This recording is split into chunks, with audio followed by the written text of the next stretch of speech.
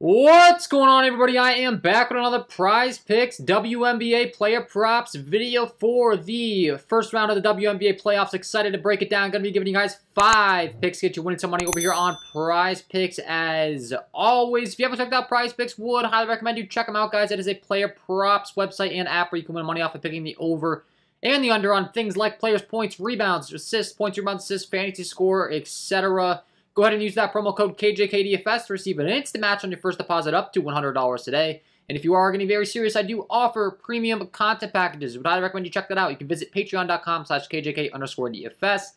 That is linked below, in the description to go along with all my other links. I do offer Prize Picks WNBA packages, Underdog WNBA to go along with the VIP member package if you want to get access to every single one of my picks, the exclusive Discord. Get access to them before the public does so you can get them before bumps. Would highly recommend you check that out. If you're enjoying the content for free, if you're winning money off this free content, I can promise that you're going to like the premium.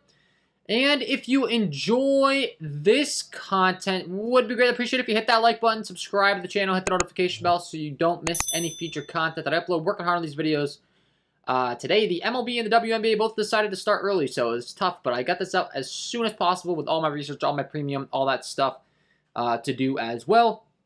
I know this is kind of last second with this first game, but did the best I could, and that's why it's important to have those notifications on. So when I get put in these predicaments, you can get the notification, watch the video immediately, and get these picks. So let's talk about it. We got five, we got two games today for the WNBA playoffs.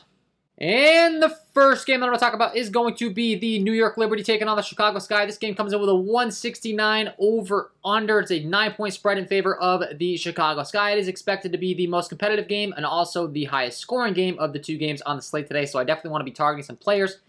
And the usage is very predictable in these rotations, which is always nice. So we're going to kick things off on the New York Liberty side with Miss Sabrina Ionescu, who had a great game one, definitely promising after not exactly the best way to round out the regular season. And I want to be going with her over 32 and a half points, rebounds, and assists. She does contribute in all categories. She had 35 last time out. Really, really consistent across the board. And her underlying metrics are very, very good. When I'm looking at my advanced metric sheet as far as how she rates out in all these categories, uh, really, really good. She takes 14.4 shots per game. She shoots 41.6% from the field, 33.8% from behind the three-point arc. She takes seven three-pointers, 3.7 free throws. She shoots 92% from the line. She also has a 12.7 rebound metric and a 37% assist metric. So every single category you could possibly want her to contribute in, she does. And we already kind of saw the tape as far as the rotations uh, for the series in game one. We saw Ionescu play 36 minutes. You could see she shot, took 12 shot attempts, 3 for 6 from behind the arc. She took 3 free throws, 7 assists, 7 rebounds, 22 points. Perfect. Contributed in every single category. Kind of what we're expecting out of her. I know expecting more of the same. She's a triple-double uh, threat every single time she takes the floor. New York leads the series 1-0. They can advance with a win today. Expected to come out trying to close the deal going right at them. So pick number one, we're going with the over 32.5 points, rebounds, and assists for Sabrina Ionescu. That's going to be pick number one here. Pick number two, we're going to be going with her teammate, another high usage individual that we targeted in game one, and that's going to be Miss Natasha Howard. Same thing. This team really does flow through these two players, and once again, she contributes in all categories. Both these players tend to have a little bit of turnovers issues, so I do prefer the PRA over their fantasy. I talk about that a lot. They just turn the ball over so much that the negative points for fantasy can be a little bit tough, even though you get the three points for every steal. So I do like the PRA for Natasha Howard as well. Same story. She's hit this in her last three games out. No surprise to me. She plays a bunch of minutes. She contributes in every single category. The advanced metrics grade out really well. 12.3 shots per game, 47.9% from the field, 32.6% from behind the arc. She has a 13.8% rebound, 14.8 assist metric. So every single category you could really want her to contribute in. Once again, she does. You look at the game log in game one, kind of give you a visual 34 minutes. You can see 3 for 3 from the free throw line, 9 for 17 from the field, 7 rebounds, 3 assists, 22 points. Same thing as Ionescu. And we get an even friendlier line on her at the 26.5 PRA line. She's hit pretty much 30 plus in every single one of the last three games. I'm expecting her to continue the trend in this game that's expected to be pretty fast. Once again, these two really do lead the charge for this team. They really do lead the usage. So I'm going to be targeting her over 26 and a half points, rebounds, and assists for Natasha Howard. That's going to be pick number two. Pick number three, we're going to be running back on the other side of the game. Kind of a similar story. Some pretty condensed usage. Um, some pretty condensed minutes in the rotation. 169 over under. Once again, the Chicago Sky are favored in this one. It all starts at the point guard position with Miss Courtney Vandersloot. She has been phenomenal, and her minutes were ramped up for game one. 31 minutes for Vantage Vandersloot. She had three rebounds, 10 assists, 13 points. Her assist metrics are fantastic. Her rebound metrics are good enough to where she's going to rack up a few of those when she's on the floor for 30 plus minutes. Once again, it's a must-win game. I expect her minutes to continue to be up, and she has a very friendly uh, PRA line for those circumstances. She put up 26 last time out, 21 and a half. She was only playing like in the low 20s at times during the regular season. You put her on the floor for that much longer of minutes, that's a big difference. 26.8 minutes on the season. If she's going to play 30 plus, that's really, really good. She has one of the most elite assist metrics in the entire league with a 37.9% assist metric, 8.9% rebound metric is very, very respectable for a point guard as well. Takes 9.1 shots per game. She shoots 48.4% from the field. So once again, Vandersloot, and like I said, that minutes bump is a big deal. For her to be only in the 21, low 20s in PRA, she's going to play 30 plus minutes. Um, there's some really good value on this line. So pick number three. We're going to be rocking with the over 21 and a half points, rebounds, and assists for Courtney Vandersloot. That's pick number three.